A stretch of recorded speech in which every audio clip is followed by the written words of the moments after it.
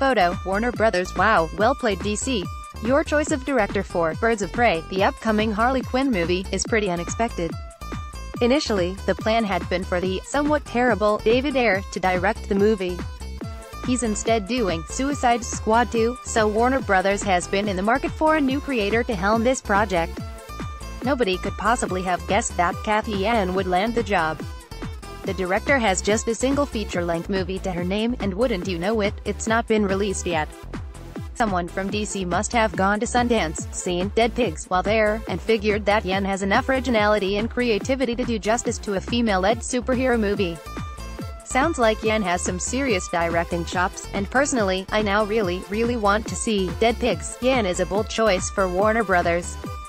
She's not very established, but she's making waves for comedy projects that tend to stand out from the crowd, not least because she's unflinching in her efforts to portray Asian cultures that tend to be overlooked by mainstream Hollywood. One can only hope that she won't be forced to sacrifice some of this as she heads into the DCEU. This casting choice feels like something of a reaction to DC's sole popular movie of the past few years. Wonder Woman has been celebrated for its female director, and considering how badly it's worked out every time a man has shot anything in the DCEU, it makes sense that the studio will now want to try giving a chance to some less established female creators. After all, what's the worst that can happen? In a cinematic universe that includes Batman v Superman, the only way is up. The danger here is that Warner Brothers might be hoping to take advantage of Yan's relative obscurity and inexperience.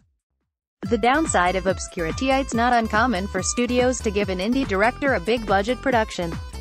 Jurassic World, Fantastic Four, and Godzilla are three very different examples of what happens when a small-time movie maker is handed the reins to a major tentpole franchise.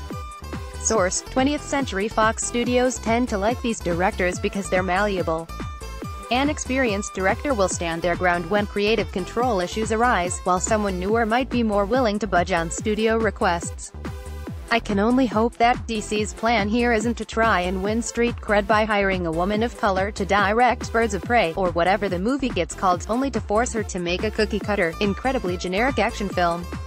Seriously, DC, if you're going to hire a quirky comedy director whose body of work is filled with stuff that Hollywood would never greenlight, then maybe it's best not to force a square peg into a round hole.